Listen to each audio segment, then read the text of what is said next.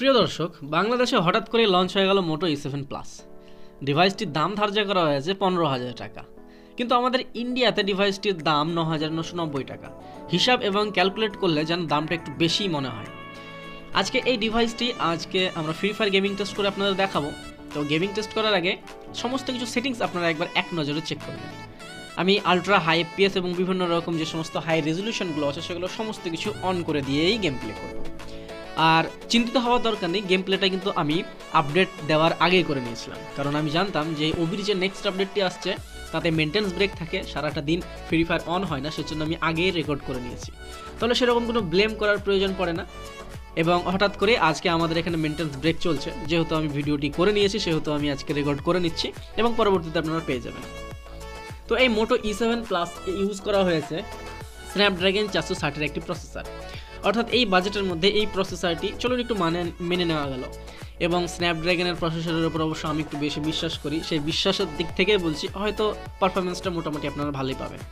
এবং পনেরো হাজার টাকা দিয়ে যখন আপনারা একটা ডিভাইস কিনবেন, সেখানে ফ্রি ফায়ার গেমিং টেস্ট কেমন হবে? ফ্রি ফায়ার গেম আপনারা কতক্ষণ খেলতে পারবেন?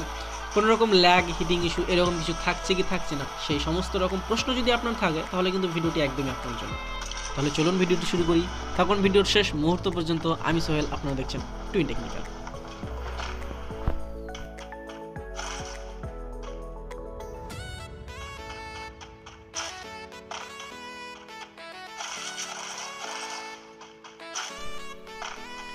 এখন বর্তমানে ফ্রি ফায়ার খেলার জন্য কিন্তু একটু হাই পারফরমেন্সযুক্ত প্রসেসরের প্রয়োজন। স্ন্যাপড্রাগন ফোর সিক্সটি প্রসেসরটি একটি স্ট্যান্ডার্ড এন্ট্রি লেভেলের প্রসেসর তা সত্ত্বেও যেহেতু প্রসেসরটা একটু বেশি ক্যাপেবল অন্যান্য প্রসেসরের তুলনায় এই বাজেটে সেহেতু কিন্তু গেম প্লেটা করা যায়। এবার আমি প্রশ্ন থাকে আপনাদের মধ্যে যে, কোন গ্রাফিক সেটিংসে আপনারা গেম খেললে এই স্ন্যাপড্রাগন চারশো ষাটের পারফরমেন্স অনেকটা বেটার পাবেন? প্রথমে আপনি মোবাইল কিনে দেখবেন আপনি আলট্রাতেই গেম প্লে করতে পারবেন, কোনো রকম সমস্যা হবে না। যেহেতু প্রথমে মোবাইল কেনার সময় মোবাইলে কোনো রকম কিছুই থাকে না। পরবর্তীতে আপনারা এক্সট্রাভাবে বিভিন্ন রকম অ্যাপলোড করেন। বিভিন্ন রকম জিনিসপত্র যেহেতু লোড করেন, সেহেতু মোবাইলের উপর প্রেসার পড়ে এবং সেই প্রসেসার প্রেসারের জন্য কি হয়? আপনার প্রসেসারটা একটু হলো ল্যাগে হয়ে যায় পরবর্তীতে। তাই আপনি যদি একটু প্রো প্লেয়ার হয়ে থাকেন এবং আপনি অনেক পুরনো প্লেয়ার তা সত্ত্বেও এই ডিভাইসটি কিনছেন ফ্রি ফায়ার খেলার জন্য। তাহলে আপনাকে রিকমেন্ড থাকবে স্ন্যাপড্রাগন ফোর সিক্সটি প্রসেসারে স্ট্যান্ডার্ডে গেম প্লে করার। কারণ আমার অনেক বন্ধু আছে, বিভিন্ন রকম নোকিয়া ডিভাইস ইউজ করে এবং যার স্ন্যাপড্রাগন ফোর সিক্সটি প্রসেসর এবং সেই স্ট্যান্ডার্ডে খুব ভালো পারফরমেন্স পায়। যদিও লবিতে ঢুকতে একটু লেট করে এবং গেম স্টার্ট করতে অনেকটাই লেট হয়, কারণ দেখবেন অনেকটা ক্ষেত্রে আপনাকে সব থেকে যেন লেটে প্রবেশ করায়। তো সেই রকম সমস্যাগুলো হয়, কিন্তু গেমে প্রবেশ করে যাওয়ার পর কিন্তু আরও কোনো রকম সমস্যা হয় না। এবং পরবর্তীতে কি হয়, এখন যেহেতু কাস্টম রুমের অনেকটাই পপুলার তাহলে কাস্টম রুম যখন আপনারা খেলবেন, তখন কিন্তু স্মুথে করলে বেটার পারফরমেন্স আছে। কারণ যখন আনলিমিটেড গ্লুয়াল এবং আনলিমিটেড অ্যামো থাকে, তখন গ্লুয়ালের ওপর গ্লুয়াল যখন পড়তে থাকে, তখন কিন্তু মোবাইল বিশাল ল্যাগি এবং হ্যাং হয়ে যায়। বিভিন্ন ভালো ভালো ডিভাইসও হয়ে যায়, তাহলে এ তো স্ন্যাপড্রাগন ফোর সিক্সটির এ তো হতে বাধ্য। তাই আপনাকে রিকমেন্ড থাকবে যখন আপনারা সেই রকম কাস্টম রুম খেলবেন, অর্থাৎ আনলিমিটেড তখন স্মুথ করে নিলে কিন্তু পারফরমেন্সটা আপনারা বেটার পেয়ে যাবেন। এখন গ্রাফিক্সটা মূল বিষয় না গ্রাফিক্সটা তো অবশ্যই একটা ছোট অংশ, আপনার পারফরমেন্সটাই কিন্তু শেষ মুহূর্ত পর্যন্ত আপনার সাথে এগিয়ে যাবে। তো গ্রাফিক্সটা একটু লো হলেও ততটাও সমস্যা হবে না, যতটা সমস্যা আপনার লেগে লেগে ভাবে আসে।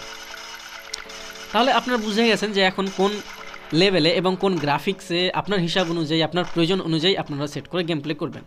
এবং পরবর্তীতে চলে আসে হিটিং ইস্যু দেখুন স্ন্যাপড্রাগন ফোর সিক্সটিতে তেমন কোনো হিটিং ইস্যু থাকে না। যদি আপনারা এই ডিভাইসটিতে ব্যাটারি প্রবলেম হয়তো পাবেন না, কিন্তু আউটডোরে যদি আপনি গেম প্লে করেন, তাহলে ব্যাটারি প্রবলেম আসতে পারে। এবং হিটিং ইস্যু নিয়ে কথা বললে আলট্রাতে গেম প্লে করলে হিটিং ইস্যু আসে, এবং স্ট্যান্ডার্ডে গেম প্লে করলে কোনো রকম হিটিং ইস্যু আসে না। তাহলে সবথেকে ভালো স্ট্যান্ডার্ডে গেম প্লে করার। আর ভাই, আপনি স্ট্যান্ডার্ডে গেম প্লে করুন বা আলট্রাতে ভিডিওটা যদি ভালো লাগে লাইক করতে কিন্তু ভুলবেন না। একদম লাইক করার পরেও কিন্তু আপনারা এটা পুরো ভিডিওটাই দেখতে পারেন। রেকর্ড করতে দিয়ে দিই, তাহলে কিন্তু তাদের স্ক্রিন রেকর্ডে হয়ে যাবে এবং স্ক্রিন রেকর্ডে তত ভালো গেম প্লে হয় না এবং বোঝাও যায় না। সেজন্য আমার গেম প্লেকে জাজ না করে আমার কথাগুলোকে জাজ করবেন। আমি যে সমস্ত কথাগুলো বলেছি, একদম রিয়েল এক্সপিরিয়েন্সের সাথে বলেছি এবং বিভিন্ন রকম তিন চারজন বন্ধুদেরকে আমি আর গ্রাফিক্স বিভিন্ন রকম সিস্টেম তো আপনারা দেখতেই পাচ্ছেন, যেহেতু আলট্রাতে করা আছে। এবং পুরোপুরি বাকিটা আপনার উপর ছেড়ে দিলাম। এবার আপনার ব্যক্তিগত পছন্দ থাকবে, ব্যক্তিগত সমস্ত কিছু থাকবে। কারোর ব্যক্তিগত চয়েস থাকতেই পারে, সে নিয়ে আমি কোনো রকম কথা বলতে পারি না। তো আজকের ভিডিওটা এখানেই শেষ করলাম। পরবর্তীতে আপনার সাথে দেখা হবে কোনো আরও একটি মজাদার ভিডিওতে। Till then bye bye